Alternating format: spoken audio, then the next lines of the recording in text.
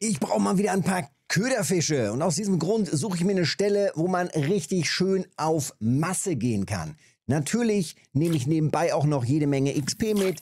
Jede Menge Geld nehme ich natürlich auch noch mit, mit allen Fischen, die ich natürlich dann irgendwann doch verkaufe, weil sie vielleicht doch ein bisschen zu groß sind. Und ich nehme auch noch Fischfetzen oder Filets mit. Also eine rundum gute Sache.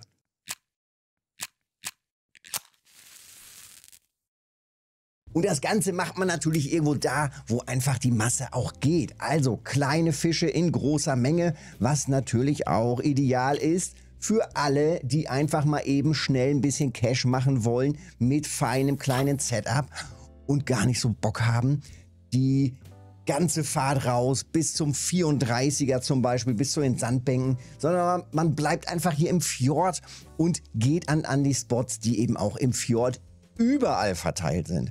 Man muss bloß einfach mal ein bisschen gucken, wo man sich hinstellen kann. Man kann ein bisschen testen und sofort ballern irgendwo die Fische rein. Alle brettern immer 20 Minuten raus bis zum, bis zum äh, 34er, bis zum 41er. Ein ganzer Teil vom Bootsticket ist dann schon abgelaufen, wenn man erstmal hier unten angekommen ist. Und dann fängt man quasi erst an. Man kann allerdings schon in den ersten drei, vier Minuten hier vorne im Hafen sozusagen, im Fjord selbst, super geile Spots beangeln. An der 38, hier knapp oben drüber, hier an der tiefen Stelle oder in diesen Zwischenbereichen dann immer. Hier oben war ich jetzt gerade und eine meiner liebsten Stellen ist einfach hier die 5, dieses 5 Meter Riff, super flach, man muss quasi einfach nur auswerfen, ist sofort in Grundnähe und kann dann sofort loslegen und die Brocken rausziehen. Super praktisch natürlich auch, wenn man noch gar nicht so weit ist und diese ganzen Beifänger hat, hat und den ganzen Schnickschnack, sondern man wirft einfach aus mit einem einzelnen Köder, ist sofort in der Nähe vom Grund und gib ihm. Jetzt im Moment bin ich eher knapp daneben. Ich habe einen Schnurclip gesetzt auf 20 Meter. Und äh, sobald der dann da angekommen ist, äh, fange ich dann auch noch mal ein bisschen an zu pilken. Meistens ist jedoch so, dass in der Absinkphase schon ein Biss kommt. Und ähm, das Einzige, was ich halt jetzt beachte, ist, dass ich genau immer zur richtigen Uhrzeit an der richtigen Stelle bin. Denn die Uhrzeiten hier sind ja entscheidend. Wir fahren jetzt gerade wieder zurück in Richtung offenes Meer. Das heißt, die Drift zieht uns jetzt gerade wieder raus. Und das müssen wir halt beachten. Ähm, ab 18 Uhr ändert sich die Drift wieder, dann geht es wieder zurück in die andere Richtung. Wir gucken uns das gleich auch nochmal genau an auf der Map. Ähm, und dann zeige ich das nochmal eben, wie die Drift ist und wo man sich dann hinstellt, damit man eben ganz gezielt einen speziellen Bereich eben beangeln kann damit sich das auch richtig lohnt. Das ist genauso auch wichtig fürs Angeln dann auf den Sandbänken und so weiter. Also ganz gezielt gucken, wo will man hin.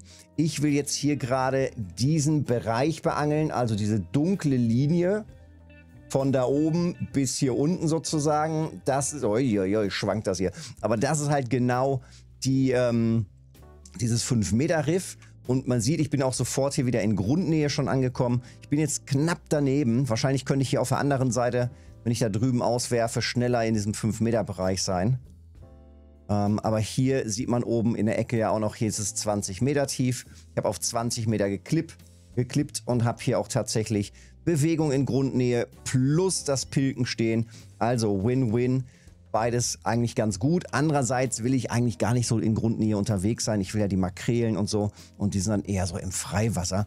Aber wenn da im Grund auch noch irgendwie was reingeht, nehme ich das auch gerne mit. Hier mal so eine Alm oder, oder einen Lump.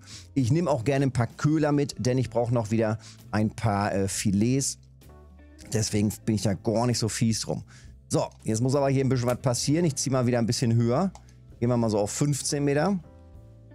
Wieder ein bisschen ins freiere Wasser. Zack, und da kommt auch sofort der Biss. Das wollen wir hier so haben. Perfekt. Und die Makrele wollen wir auch haben. Also, wohin stellen wir uns? Wohin positionieren wir uns? Zu welcher Uhrzeit? Wenn du es perfekt timen kannst, nimmst du natürlich eine der Uhrzeiten und versuchst genau um 12 oder genau um 18 Uhr irgendwo zu sein. Wir haben es jetzt gleich 18 Uhr. Und das heißt, ich fahre jetzt mal noch ein Stückchen weiter in diese Richtung hier. Ich orientiere mich jetzt gerade nur an diesem kleinen, an der kleinen Map hier. Denn das ist quasi jetzt das Detail.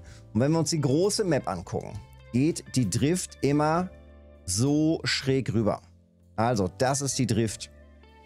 Mal ist es vielleicht ein bisschen mehr schräg, mal ein bisschen weniger schräg. Aber ich sag mal so grob, diese Richtung, das ist die Drift. Man sieht es eben auch an ganz vielen Stellen, da kommt man ganz gut mit klar. An verschiedenen Rinnen kann man mit dieser Drift eigentlich immer ganz gut hin und her brettern, weil man eben längere Zeit eben auch durch diese Rinnen dann durchfahren kann. An manchen Stellen ist es dann eher unpraktisch, das ist die, da ist die Linie oder sowas oder der, der Kanal halt genau verkehrt. Aber da muss man halt ständig korrigieren oder der Spot ist sehr klein und dann wird man halt schnell wieder rausgedriftet. Jetzt haben wir 18 Uhr. Das heißt, ab jetzt geht die Drift wieder in die andere Richtung. Wenn wir jetzt hier an der Stelle sind, positioniere ich mich also am besten so ein bisschen noch rüber. Also ich fahre jetzt nochmal so ein bisschen auf die andere Seite. Ich gebe auch jetzt gerade nicht so viel Gas. Mach sofort den Motor wieder aus, weil er fährt ja immer noch so ein bisschen nach. So. Und jetzt geht die Drift gleich, schiebt uns jetzt gleich in die Richtung. Und die Richtung ist eben exakt hier das Riff unter uns. Also wir sehen das jetzt hier auf der Map. Wir sehen natürlich nicht, wo die Drift hingeht oder sowas. Das sieht man halt nicht, das muss man einfach wissen. 18 Uhr werden wir jetzt wieder rüber gedrückt.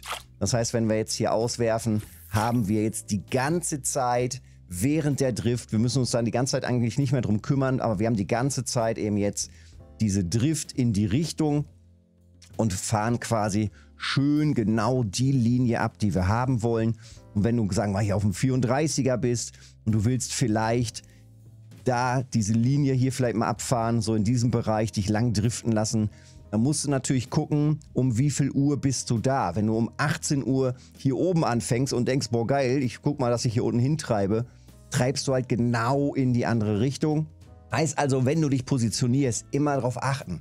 Wenn du nicht ganz sicher bist oder es vergessen hast, einfach mittig draufstellen und einfach mal gucken, wohin es geht. Immer nur bedenken, der Wechsel ist alle sechs Stunden. Also 6 Uhr, 12 Uhr, 18 Uhr, 24 Uhr und äh, dementsprechend dann am besten positionieren, damit du quasi so wie jetzt, jetzt haben wir 18 Uhr, wir driften jetzt gerade nach oben. Das würde dann bedeuten, auf der 34er Bank stellt man sich vielleicht eher hier unten hin, weil man dann genauso drüber driftet, bis ungefähr hier oben hin. Das müsste ungefähr passen von der Strecke, die man so zurücklegt während der sechs Stunden. Und dann geht es eben wieder zurück. Wenn es jetzt 18 Uhr ist und du stellst dich hier oben hin, ist halt eher schlecht, denn du wirst halt weggedriftet und kommst eben gar nicht auf diese Sandbank drauf, sondern bist dann davon eher weg. So, jetzt nutzen wir es aber aus. Ihr seht, wir sind sogar schon ein ganzes Stückchen hier weitergegangen und wir sind hier auch weiter drauf. Ähm, Zielfische sind hier gerade, wie gesagt, für mich Makrelen, gerne auch ein paar Köhler. Hauptsächlich aber ein paar schöne kleine Makrelen, die ich dann alle schön auch zu Köderfischen machen kann. Und dann werde ich die Seeskorpion, auch nicht schlecht, nehme ich natürlich auch gerne mit.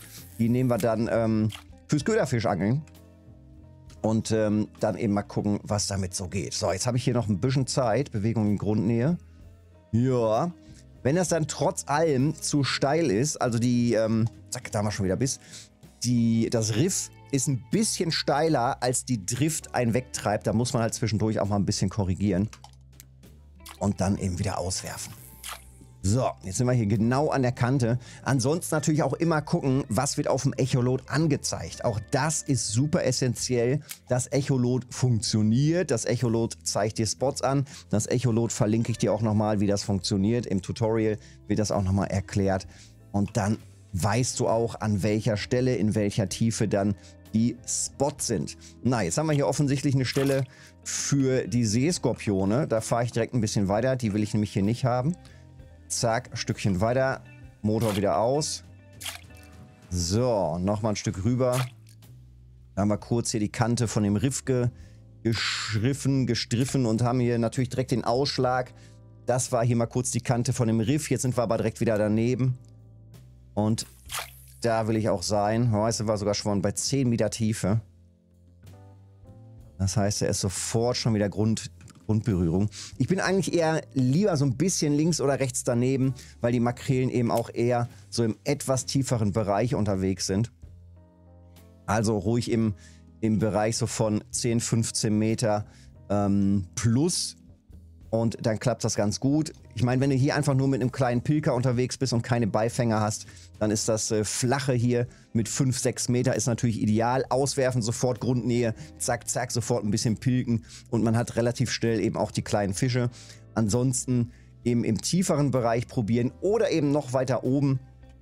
Da war ich auch anfangs und habe dann da auch ganz gut die äh, Makrelen rausbekommen. Ähm, da ist auch ein Bereich so um die 30 Meter tief und wenn man dann da so um äh, 15 bis 20 Meter Tiefe die Clip einstellt, dann lübt das auch wieder ganz gut. So, jetzt gerade mal gucken, wo wir hier sind. Also fürs Makrelenangeln gerade nicht so ideal. Da muss ich gleich wieder eher so ein bisschen hier auf die Spitze. So hier in dieser Area äh, geht das auch mal wieder ganz gut in diesen Bereichen. Hier oben in diesem Bereich, da ist das auch immer wieder richtig gut. Und wie gesagt, der Riesenvorteil, man muss nicht erst ewig rumgurken und einen Spot suchen und über die großen Sandbänke fahren. Man hat hier eine kleine Area, man hat sie sehr schnell erforscht und weiß dann ratzfatz, wo die Makrelen sind. Und dann lübt das Ganze. Ich bin gerade komplett auf Rot unterwegs. Hatte allerdings auch schon ähm, einen, einen, schwarzen Köder mit dabei und so weiter. Ich hatte einen orangenen dabei und blau und gelb. Und bisher waren die schönsten Makrelen auf rot. Ähm, gewichtsmäßig hier genau der 7er wieder bis zu einem Kilo sogar. Was ich gemacht habe, ich habe zwischendurch einfach mal die Hakengröße nochmal verringert, denn ich möchte ja die etwas kleineren haben. Ich bin jetzt gerade nicht auf Makrelen-Trophy aus, da würde ich sogar sagen, wenn du einen Hotspot hast für Makrele, dann sogar die 12er oder 13er Shrimps nehmen, das sind die großen, die großen Versionen davon und ähm, da dann vielleicht mit einem 3-0er, 4-0er Haken reingehen. Denn dann hat man deutlich nochmal eine höhere Chance auf Trophies. Allerdings ein bisschen mehr Ausschlitzer. Ja, und die Ausschlitzer hatte ich eben auch hier gerade. Da waren einige Ausschlitzer mit bei. Immer wieder die kleinen Fischis, die da raufbeißen, dann den Schnurclip kaputt machen sozusagen, ihn öffnen und dann äh, doch nicht richtig gebissen haben. Also so kleine Fehlbisse die ganze Zeit. Und äh, das nervt dann natürlich. Ne? Ich will jetzt hier schön auf der Tiefe bleiben, am besten locker im Schnurclip und damit das hier schön von der Frequenz auch läuft. Ihr seht gerade so ist das halt schon wieder gut. Auswerfen, sofort wieder Biss und einfach alles mitnehmen. Und auch das ist natürlich ideal, wenn man im Anfangsbereich ist, denn das bringt alles die Chance auf neue Skillpunkte. Mehr Prozente im Meeresangeln, im Grundangeln hier auf dem, zack, im äh, Meeresangeln genau die Prozente. Und da ist halt jeder Fisch interessant und tatsächlich bringt das auch auf Masse dann ganz gut Cash. Dann, wie gesagt, aber hier schön mit einem 3-0er Haken reingehen, ein bisschen größer, damit da auch mehr maßige Fische dabei sind. Ja, so viel Geschnacke dazu zum Nordmeer. Ich hoffe, da war einiges an wichtigen Infos bei. Ich ziehe jetzt hier noch weiter durch und werde dann gleich äh, am Makrelenspot, ich fahre glaube ich gleich noch mal ein bisschen weiter hoch hier, äh, wie gerade schon gesagt, in diesem Bereich hier oben, ähm, und dann da gleich nochmal weiter testen auf die Makrele. Und dann gehen die Makrelen gleich als Köderfisch, sehr gut, mehr davon. Dann gehen die als Köderfisch gleich raus und zwar hier hinten ins 215er. Dann baller ich die da hinten rein und dann mal gucken, was da an großen Brocken so draufballert auf Köderfisch. Wird mal wieder Zeit, mal ein bisschen auf große Dinger zu gehen. Ja, so viel dazu. Rausziehen, einfach mal hier schön auf Masse äh, rausprügeln. Ob das einfach mit dem Pilker ist oder später dann mit den Beifängern, da geht natürlich einiges mehr. Petri, wenn es geholfen hat, Daumen da lassen, Kanal abonnieren nicht vergessen, hilft mir mega. Und dann sehen wir uns im nächsten Video oder im Livestream. Montags, Mittwochs und Freitags immer komplett RF4 und an den anderen Tagen RF4 plus noch ein anderes Game. Bis dahin.